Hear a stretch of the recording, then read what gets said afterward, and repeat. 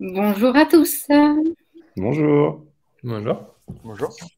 Alors, on a déjà quelques participants. Bonjour Émilie, j'espère que vous allez bien. Bonjour Haïti, bonjour Manon. Bienvenue Antoine, bienvenue Florian. C'est top, on a déjà des, personnes qui commencent à, arriver. On va laisser une petite minute, euh, le temps que les, quelques restants euh, puissent également se connecter. Sachez en tout cas qu'aujourd'hui, euh, nous serons en, petit comité parce que pour ce, pour ce lancement, hein, pour ce premier épisode. on l'a voulu comme ça, tout simplement pour, pour dans un premier temps, finalement, éprouver ce nouveau format. Et donc, on sera, on sera vraiment preneur de, de votre feedback, des remarques également que vous pourrez avoir à la suite de ce premier épisode. Euh, pour les personnes qui, nous connaissent déjà plutôt bien maintenant, euh, pour vous redonner un petit peu de, contexte et finalement la jeunesse de ce projet, euh, vous savez que nous, Limpide, on aime bien partager nos expertises. Ça, on le fait déjà au travers de, de, différents contenus, les talks, les interviews. Et on a également finalement cette particularité aussi de, de faire beaucoup de veille en interne. C'est ce qui nous permet d'alimenter nos projets, nos benchmarks et plus globalement euh, toutes les réflexions qu'on peut avoir. Et donc, on a tout simplement voulu aussi rendre ce travail-là accessible à la communauté, donc aux personnes euh, qui nous suivent au quotidien, parce qu'on sait que la, veille, c'est important dans nos métiers. Euh, on est dans un secteur, on est dans des métiers qui évoluent très, très rapidement. et donc, faire de la veille, c'est important tout simplement pour, se, mettre à la page et, garder toujours un petit œil ouvert sur ce qui se passe dans, dans le monde. Euh, je vois qu'on est déjà plutôt, plutôt pas mal en termes d'inscrits. Euh, donc bienvenue, euh, bienvenue à ceux qui viennent, qui viennent d'arriver. On est vraiment ravis de pouvoir vous accueillir. N'hésitez pas à nous dire dans le chat si vous nous entendez bien, si vous nous voyez bien, si vous voyez bien également la keynote qu'on projette, tout simplement pour nous dire si c'est OK. Euh, ce format-là, on l'a voulu vraiment euh, dynamique et engageant. Donc, on va, vous, on va vous demander de participer un petit peu dans l'onglet chat, dans euh, l'onglet sondage également. donc, pour ceux qui souhaitent jouer le jeu avec nous, n'hésitez pas à participer pour rendre ça tout simplement un petit peu plus, un petit peu plus fun. si tout le monde est arrivé, je vois que c'est à peu près le cas. Eh bien, Benjamin, je vais te céder la parole et bon événement à tous. Avec plaisir, bonjour à tous. Donc en effet, euh, aujourd'hui, euh, dans ce limpide euh, focus, on reçoit Jean-Baptiste et Cyril, qui sont deux de, mes collègues à l'agence. et l'idée, alors, ça va être de leur poser des questions sur l'univers du digital. Et donc, ces deux personnes que vous voyez aujourd'hui vont être en concurrence. On va être sur un format mini-jeu. Et donc, elles vont essayer de me donner les meilleures réponses possibles pour euh, remporter la partie, en sachant que notre grand, gagnant euh, se verra euh, complimenté par le perdant sur LinkedIn. Donc, on attend vraiment du perdant un beau paragraphe qui vante les mérites de l'autre, qui, qui, nous explique en quoi cette personne est formidable. Donc, comme je vous le disais, je vais poser des questions à nos invités. Cependant, dans le chat, vous avez la possibilité de répondre plus vite qu'eux. Et si vous arrivez à donner une bonne réponse plus vite qu'eux, vous leur retirez le point à tous les deux. Et donc, euh, vous les empêchez euh, de, gravir euh, la pente de la victoire. Donc, ce que je vous propose, avant d'aller c'est quand même de donner la parole à Jean-Baptiste et Cyril pour qu'ils puissent se présenter. Jean-Baptiste, est-ce que tu souhaites nous parler un peu de, de ton poste, de tes missions à l'agence? Ok, je vais être assez rapide. Euh, bonjour à tous, moi je suis Jean-Baptiste Camus, je suis consultant en, plutôt sur des problématiques d'expérience utilisateur à l'agence depuis maintenant 9 ans. Et euh, du coup, je travaille sur euh, des sites internet, mais aussi des produits plutôt dans le B2B. Et bah, du coup, ce matin, tu m'as proposé de participer à, ce projet, donc j'étais ravi de pouvoir me challenger face à Cyril. Donc ça va être un vrai plaisir. Et puis, j'ai hâte de voir ce que la communauté va pouvoir répondre de son côté. Et Cyril euh, bah, merci. Ouais, moi, donc Cyril de Saint-Paul, je gère le business développement de Limpide avec euh, la partie commerciale. Donc là, je travaille plutôt avec Jean-Baptiste sur de l'avant-vente euh, chez nos clients et la partie contenu avec Naomi sur, sur tout ce qui va être rayonné, faire rayonner Limpide au travers des talks, des interviews et aujourd'hui de, de, ce premier épisode de Focus. Bien, merci à tous les deux. Alors, je vous propose qu'on attaque avec un sommaire très rapide. Donc aujourd'hui, on va parler de trois choses. Euh, premier sujet, TikTok, nouvel Eldorado des marques B2B. On sait qu'on a beaucoup euh, d'utilisateurs de TikTok, mais c'est un réseau qui, qui, a encore une image très euh, jeune, très contenu tendance. Donc on va aller creuser tout ça et on va découvrir des acteurs qui, d'ores et déjà, aujourd'hui dans le B2B, utilisent ce canal pour communiquer et augmenter leur chiffre d'affaires. Dans un second temps, on va parler de référencement naturel, zoom sur une discipline occulte on entend euh, plein de choses sur le SEO. Euh, il y a différentes visions qui existent et on va aller se questionner sur des bonnes pratiques. je vais vous donner des, affirmations et vous me direz si c'est vraiment des bonnes pratiques ou alors si c'est des mauvaises pratiques. Et puis enfin, on fera un petit tour d'horizon des métiers du web. comme on est en agence, on connaît bien tous ces métiers et donc on, va, on, va, on va se pencher sur le sujet et vous expliciter certains métiers qui peuvent être méconnus euh, de nos jours. Dans un premier temps, on va se pencher sur TikTok. Donc en fait, TikTok, comme je vous le disais un peu plus tôt, c'est un réseau euh, social euh, qui a une image très tendance. On sait qu'on a beaucoup de jeunes dessus. On sait que c'est très développé en Asie et de plus en plus aux États-Unis. Et alors, on voit apparaître de nos jours déjà des, acteurs B2B comme Shanghai Shiseng, Peut-être que Naomi, toi qui, qui parle qui, qui parle cette langue, tu peux, tu peux nous aider à le prononcer. Avec plaisir. Alors du coup, là, on sera donc. Merci, ça sera mieux que moi. Et euh, donc euh, voilà, on a vraiment des, des acteurs comme, comme celui-ci qui commencent à nous vendre des produits euh, en B2B. Donc on peut se poser la question, est-ce qu'aujourd'hui, en France, commencer à investir ce canal, c'est quelque chose de complètement euh, inutile ou est-ce que ça commence à l'être? Et donc, dans un premier temps, on va faire euh, une activité qui s'appelle euh, Le plus près l'emporte. Et donc, je vais poser des questions à Cyril et Jean-Baptiste et il faudra essayer de me donner une réponse qui s'approche le plus du résultat. Et donc, on va commencer avec une, vue d'ensemble donc de, TikTok, hein, un petit mot de board rapide. Hein. voilà, aujourd'hui, TikTok, c'est ça. Est-ce que demain, ça doit devenir quelque chose de, de B2B Donc, première question. Combien d'utilisateurs actifs compte TikTok dans le monde aujourd'hui, selon vous? Euh, On va commencer euh, par euh, Cyril. Est-ce que tu as une idée? Alors, d'utilisateurs actifs, moi, je vais dire une grosse bêtise. Moi, je pense qu'on est sur du 800 euh, millions. Non, 800 millions, ça me paraît beaucoup. 80 000 euh, plutôt. 80 millions, pardon. D'accord. Et toi, Jean-Baptiste? Bah écoute, moi, je vais partir sur la base de Cyril au début. Moi, je vais dire 750 euh, millions. Parce que je sais que ça. Ah, j'y étais, j'avais le bon chiffre. Et sur 800 millions. Ah, c'est beau. Donc Cyril est médium. Ah, euh, je, me rappelais, qu'il y avait un 8 dedans. Et en disant 800 millions, je me suis dit que c'était peut-être beaucoup, mais euh, en fait, euh, comme c'est très répandu dans, pas mal de pays.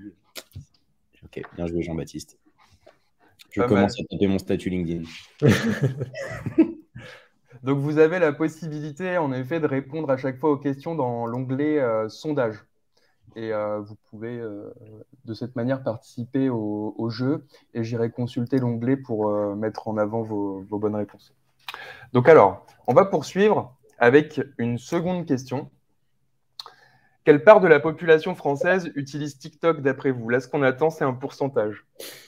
Jean-Baptiste, est-ce que tu as une idée? Je, je pas. Moi, je pourrais peut-être me dire que ça doit faire du, je dirais, 8%, 8 peut-être? Moi, je dirais, plus. Moi. 22%. Ah ouais, quand même. J'ai été sympa avec Cyril, je lui ai montré la réponse. Mais euh, ouais, en effet, c'était plus. On va, donner le point à Cyril. Donc on va dire qu'on est à 1-1. J'aurais répondu 30, moi. Pour, euh, Très bien, moi, tu aurais gagné. Alors, maintenant une question euh, un peu plus précise. Donc, je vais vous la formuler oralement. Aux États-Unis, les adultes s'intéressent de plus en plus à TikTok. Fin 2017, la plateforme comptait 2,6 millions d'adultes.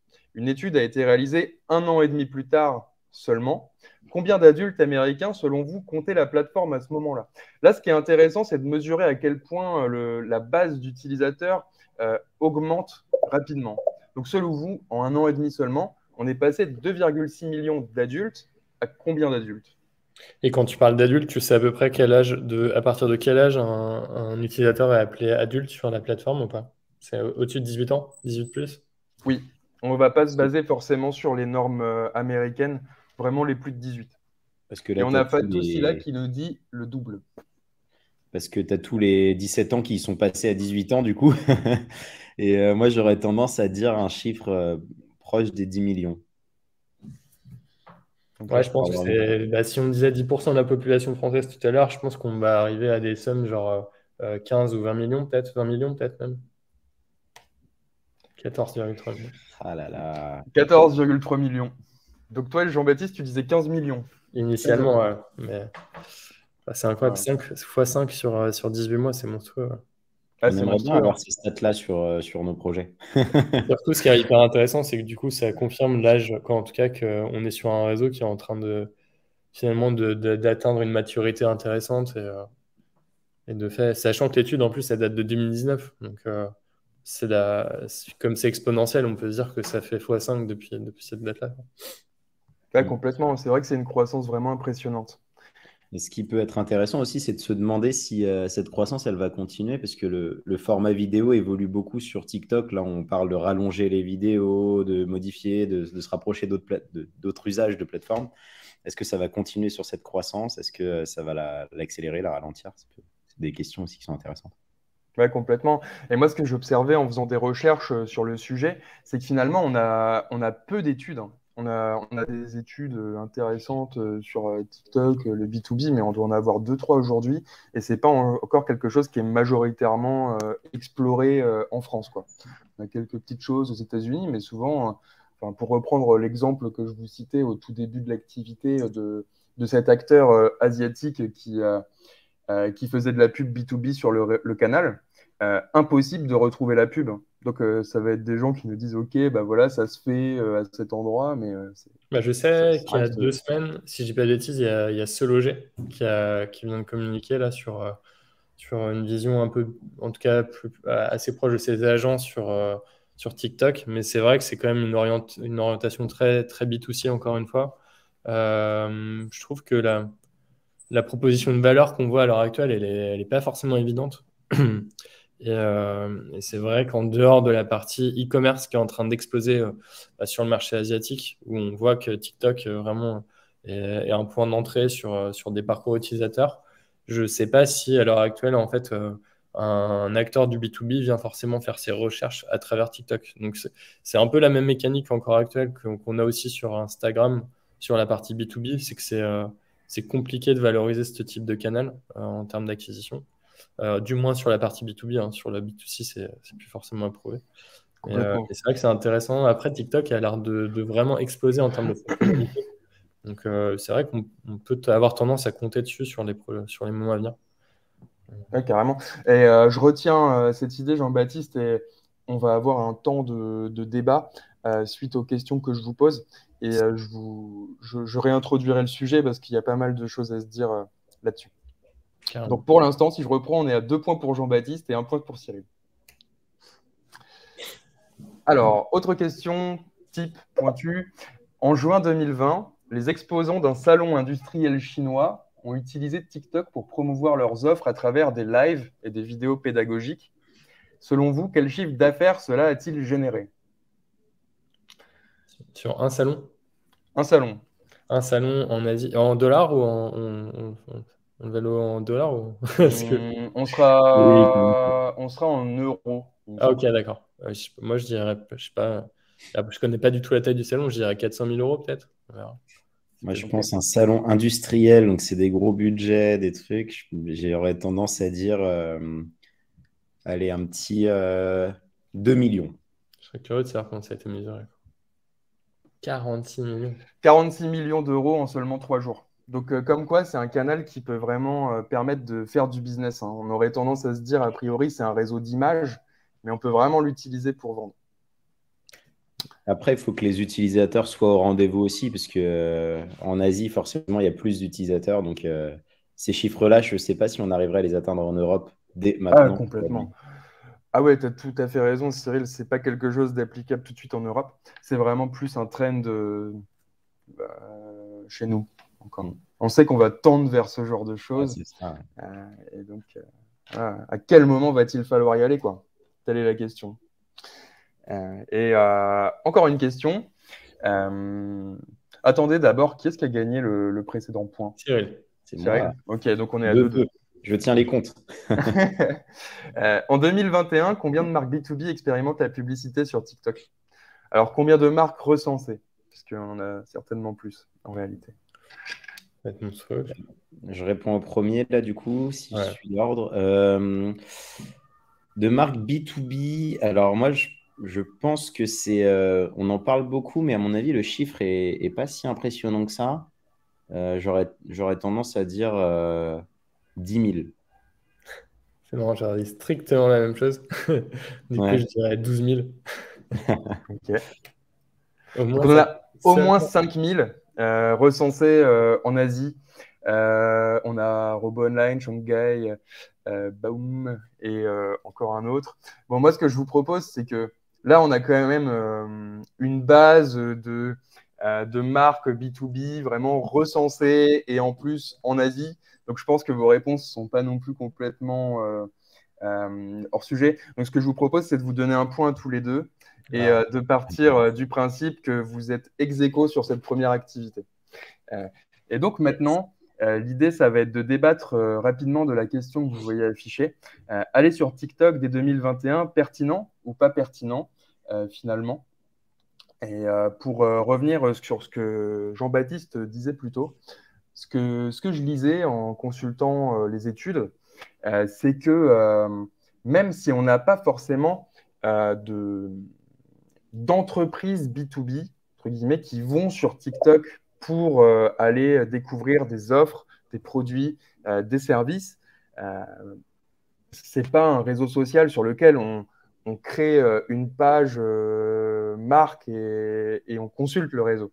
Mais il y a quand même les humains qu'il y a derrière.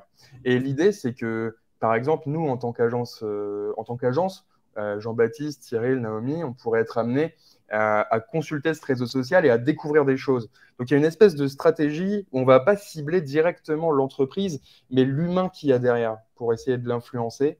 Euh, et en ce sens, c'est des mécaniques complètement nouvelles et, et, assez inspirantes. Et ben voilà, vous, si, euh, demain nos clients vous dit est-ce que vous devez aller, euh, est-ce que je dois aller sur TikTok, qu'est-ce que vous lui répondriez euh, comme ça à chaud? Moi, tu veux répondre en premier ou tu bah, je peux y aller. en fait, moi, pour moi, tout dépend aussi de la stratégie. Pour moi, il y a, déjà il y a deux manières d'y aller. C'est comme d'habitude, il y a la manière d'aller sur un réseau à travers des ads ou pas. Ça, c'est un principe qui pour moi est complètement différent, puisque c'est dire qu'on va investir dans TikTok à travers de la publicité ça, c'est une chose. Et en réalité, je pense qu'on ne peut absolument pas dire à un client de ne pas y aller. Forcément, il y, a, une étude euh, du bassin d'audience à faire, etc. Mais ça semble cohérent. Après, moi, c'est plutôt sur la partie contenu. Si on est vraiment plutôt sur, sur on va dire, un peu presque de l'inbound, où, euh, où on a besoin de construire une communauté, etc. Euh, moi, j'avais vu un exemple hyper intéressant il y a quasiment un an et demi. c'était dans le domaine des télécoms. C'était un, un mec qui, qui, avait commencé à se filmer, qui était un installateur de fibres. Et euh, il avait commencé à filmer les plus gros euh, fails qu'il avait vus en installation de fibres, euh, des, des, des, baies qui étaient super mal foutus, etc. Et en fait, le nombre de vues a complètement explosé. Donc, je, laisse je pense qu'il y a des sujets, s'ils sont traités d'une manière qui sont intéressantes pour l'audience pour qu'il y a sur TikTok, ça peut hyper bien fonctionner. par contre, derrière, c'est sûr que si c'est pour faire du contenu corporate sur une plateforme qui, que, comme TikTok, en réalité, je pense que c'est pas forcément l'idée. Donc encore une fois, tout dépend de ce qu'on veut y faire, la manière dont on veut le faire et ce qu'on veut y engager, je pense, sur, sur la perte de en termes d'investissement.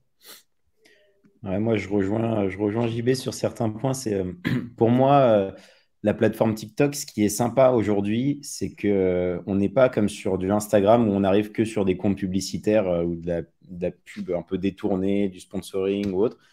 Et donc la philosophie de la plateforme, pour moi, aujourd'hui, hein, ne, ne doit pas être trop orienté pub, mais plutôt côté humain, parce que c'est vraiment la logique. Et, euh, ce qui est sympa, c'est qu'il y a un autre exemple comme ça. Il y a un, on voit un livreur de la poste là, qui a, qui a, de Colissimo qui est, qui est hyper connu sur TikTok, j'ai oublié son, pseudo, qui fait des vidéos drôles. Et en fait, ça, il va travailler, lui, son personal branding. Et c'est une stratégie qu'on utilise beaucoup en B2B. Euh, et, en fait, il y a une logique à avoir derrière de cette manière-là. On met en avant l'humain pour que ça retombe côté sur l'entreprise. C'est comme ça que j'aurais tendance à pousser le, sujet. Mais encore une fois, ça dépend de l'activité. Euh, Cyril qui fait des, vidéos drôles sur TikTok, je suis pas sûr que ça aide limpide. Par contre, euh, imaginons qu'on ait un monteur vidéo chez nous qui, euh, qui fasse des qui a un compte TikTok avec des trucs un peu sympas, des, drôles ou pas, ou effets spéciaux, bah, ça peut aider Limpide à vendre des vidéos. Donc du coup, mmh. j'aurais tendance à dire un peu comme Jean-Baptiste, à analyser en amont et le faire de manière pertinente, mais sans être dans une approche trop agressive en termes publicitaires ou commerciaux. Ouais, tout à fait. C'est vraiment une approche différente de ce qu'on a l'habitude de, concevoir. Bah, merci à tous les deux pour euh, vos réponses et je vous propose qu'on passe euh, directement euh, à notre deuxième jeu. Donc, on va partir sur un info ou un tox. Je vais vous donner des affirmations et vous me direz si selon vous c'est une info ou une intox. On va se parler de référencement naturel. Le référencement naturel, c'est toutes les bonnes pratiques euh, qui ont pour objectif de bien euh, référencer des contenus euh, dans les moteurs de recherche et notamment dans Google qui représente 90% des recherches de nos jours. Et alors pour bien référencer une page dans Google, on a plein de techniques et on entend souvent tout et n'importe quoi. Donc ça va être l'occasion de faire un petit point là-dessus. Et on va commencer avec une première affirmation qu'on entend souvent. Alors, le temps de chargement des pages de votre site est de loin le critère le plus important pour être bien référencé. Selon toi, Cyril, info ou intox? Euh, J'aurais tendance à dire, euh, enfin, c'est un des critères qui est important. Est-ce que c'est de loin le plus important? Euh, J'aurais tendance à dire intox. Et toi, Jean-Baptiste? La même chose que Cyril. Hein. Très bien. Donc, euh, en effet, c'est de l'intox. Euh, le temps de chargement euh, des pages, hein, c'est en, effet, important, mais ça n'est pas plus que ça. En réalité, aujourd'hui, ce qui va permettre à un contenu d'être bien référencé, c'est avant tout sa qualité. c'est vraiment le texte qu'on trouve à l'intérieur. Donc, attention, ce n'est pas forcément le critère le plus important. prêtez vraiment attention au contenu. Je pense par contre, Benjamin, peut-être que ce qui ressort aussi derrière cette intox-là, c'est que finalement, ce n'est pas qu'une problématique SEO, c'est aussi une problématique de finalement de, derrière de conversion où finalement on sait que si par contre ton, temps de chargement est trop lent, euh, tu, vas avoir un abandon euh, qui, va, qui va fortement augmenter en, parallèle. Donc, euh, je pense que le taux de rebond peut-être aussi parfois est considéré dans la tête, dans l'imaginaire de certaines personnes comme une problématique SEO. Oui, tout à fait. C'est vrai qu'après, le temps de chargement, il est important pour, euh, pour plein de raisons. Euh, euh, c'est notamment pour ce que tu dis. Hein. Si, on a des pages qui mettent trop longtemps à se charger, on va avoir un internaute frustré. Et je crois qu'on avait une statistique qui nous disait qu'une page qui met plus de 3 secondes à se charger va, fuir, va faire fuir 50% des, internautes. Donc, c'est certes important, mais c'est vraiment pas une priorité en SEO. Deuxième affirmation, dissimuler des mots-clés en bas d'une page web ne sert à rien. On entend souvent qu'aujourd'hui, de nos jours, ça ne sert à rien cette pratique. Euh, info ou intox?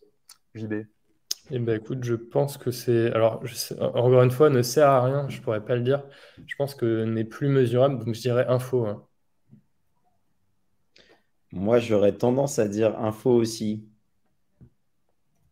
Info. Ah. Bien joué. En effet, à une époque, on s'amusait à, à mettre plein de mots-clés en bas euh, d'un article et puis à les mettre euh, dans une euh, couleur blanche pour que ça ne se voit pas et que ça se mêle avec la page. Aujourd'hui, ça ne se fait plus et puis c'est même détecté par Google et pénalisé.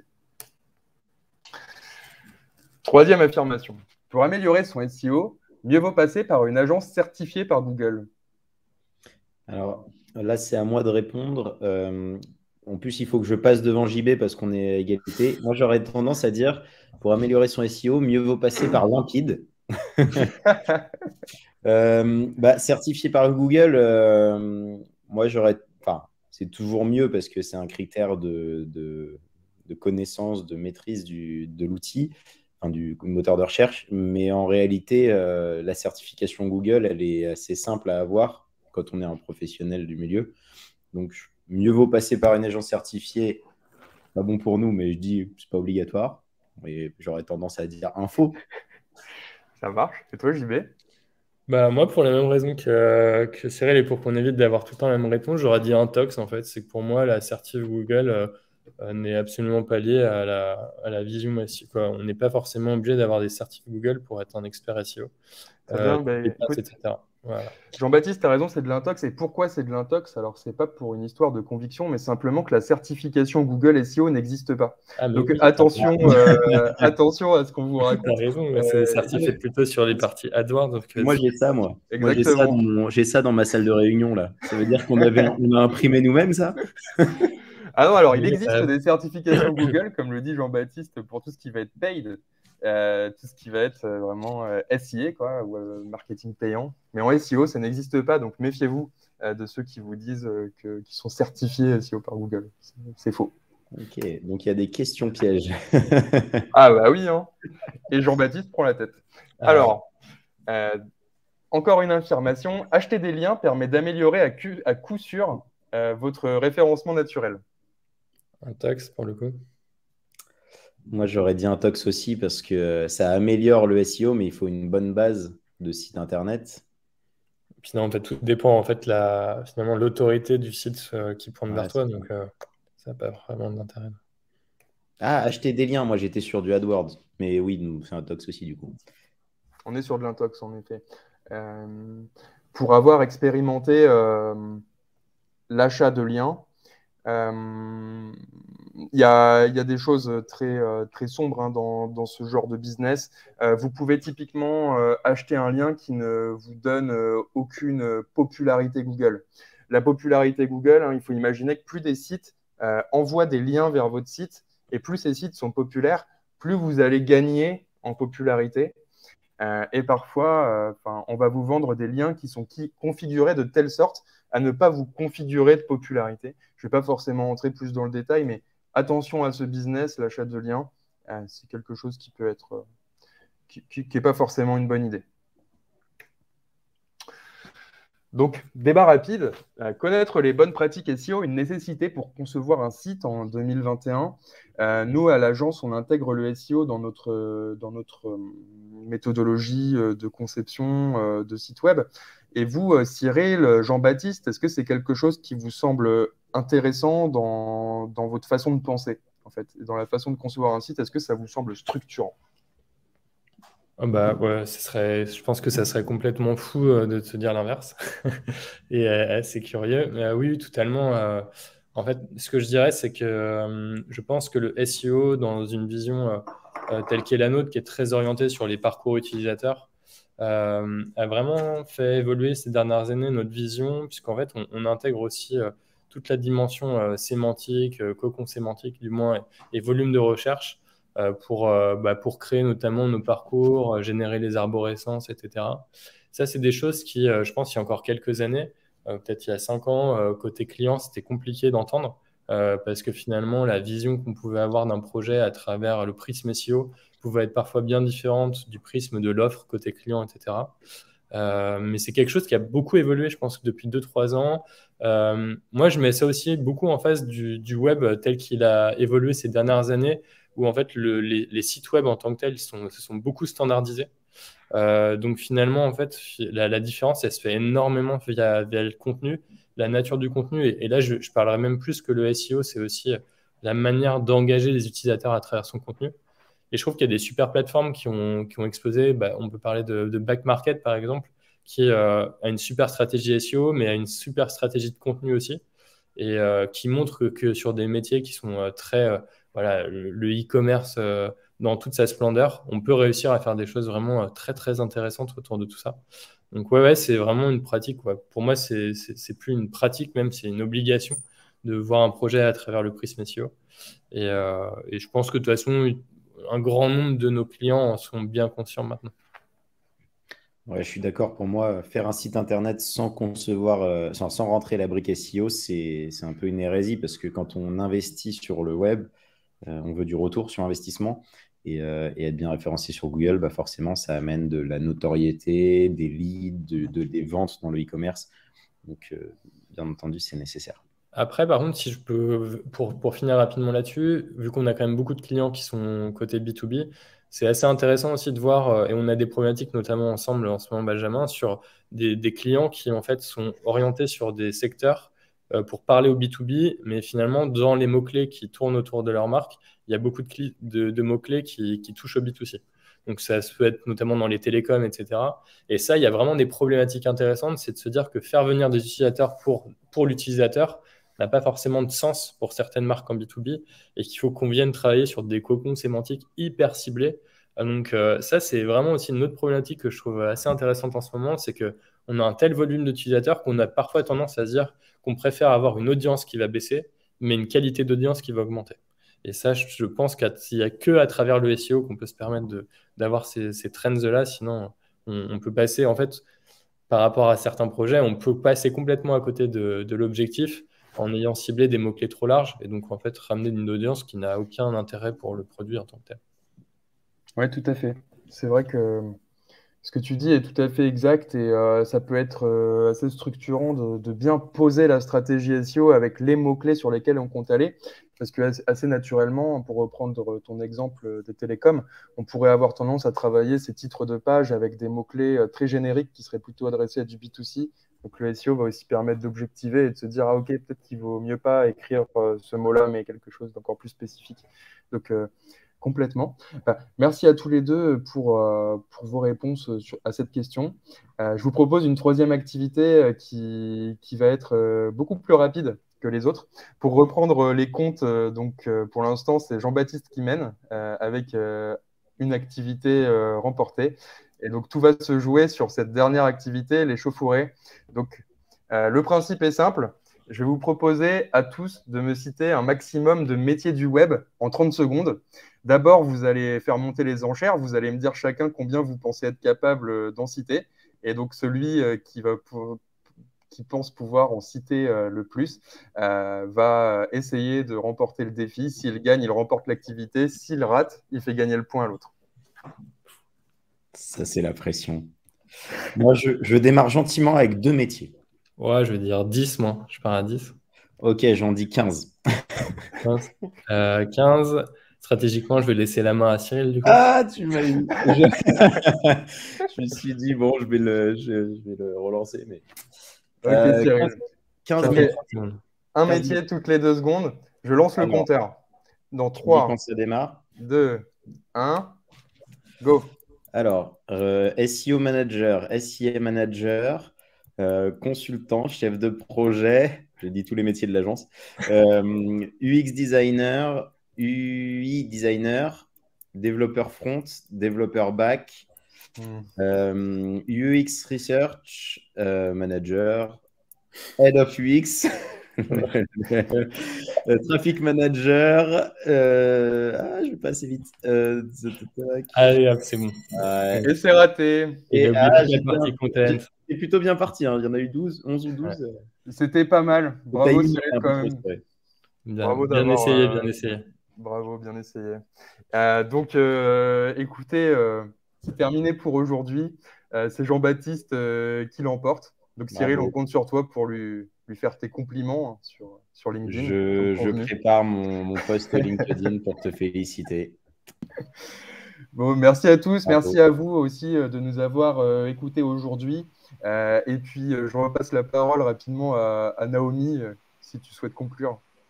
Bien sûr, merci Benjamin. En tout cas, on espère que, ça vous, que ce format vous a plu. N'hésitez pas à remplir le petit questionnaire que je vous ai mis dans le chat parce que c'est vraiment quelque chose qui, qui va nous être utile pour, pour les prochains.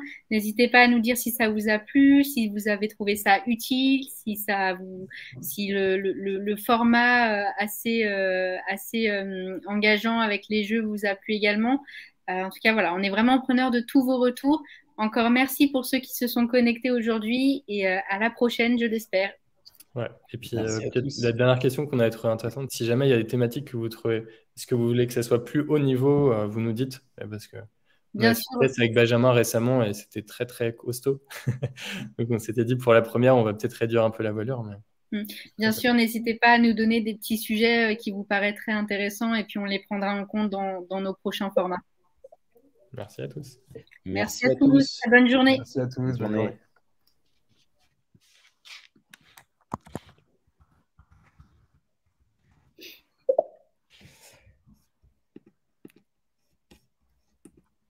Tac.